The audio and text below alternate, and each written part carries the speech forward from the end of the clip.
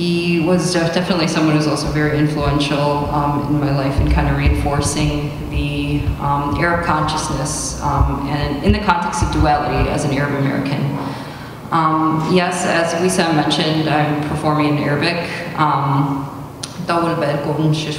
like the Arabic's not great, but um, when I was in Lebanon in one of the refugee camps, um, the organizers that were meeting with us, um, they did mention that um, they did were learning English, they spoke English, but um, one of them refused to. He's like, no, and I'm kind of So it's like, um, that was very kind of like a way of saying, reinforcing that um, at the end of the day, we do have to remember our language and we do have to um, define ourselves through our Arabness, which Palestinians are incredibly um, exemplary in doing. Um, even in Gaza just the other day, as they they do this recurring um, form of protest where they'll just like sit down along the lines and just like read books.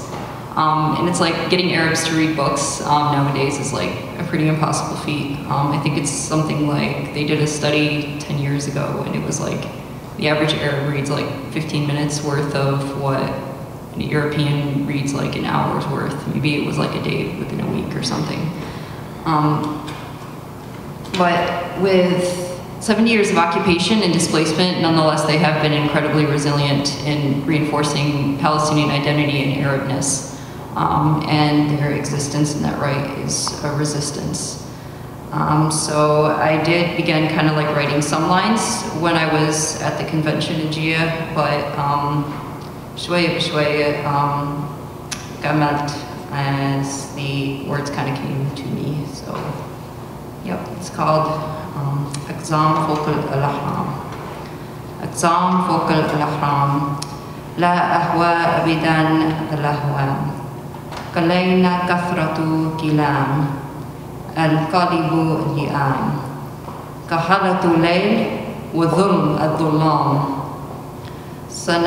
سنقدكم حديكم كلها اللقام روائنا برودان في أجسادنا تنام ودوكثونا سموم عموسام على شمس قوينا حيث تولد الأحلام.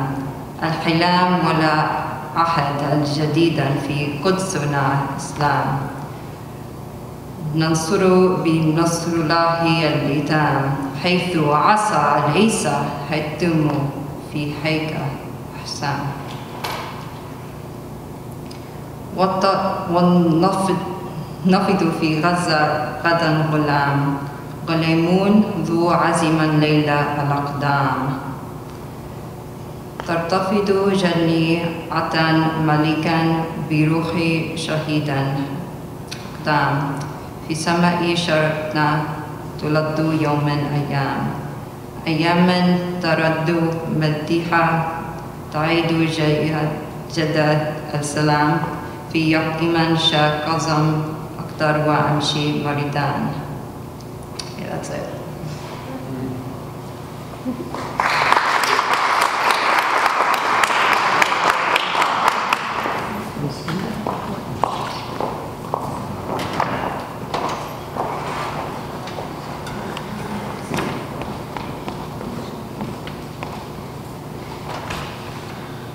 Thank you someone uh, يتشرف نادي منتج بيل الثقافي الاجتماعي ودعوتكم لحضور تلقي الديوان أيتها النائمة في رحم ما للشاعر كمال العبدلي. وذلك غدا يوم الخميس الثاني عشر من نيسان 2018 الساعة السادسة والنصف مساء في نادي منتج بيل الواقع على ميلر رود في ديربون. Last but not least, our also regular guest to the Dearborn Open Mic, Yasmin Badawi.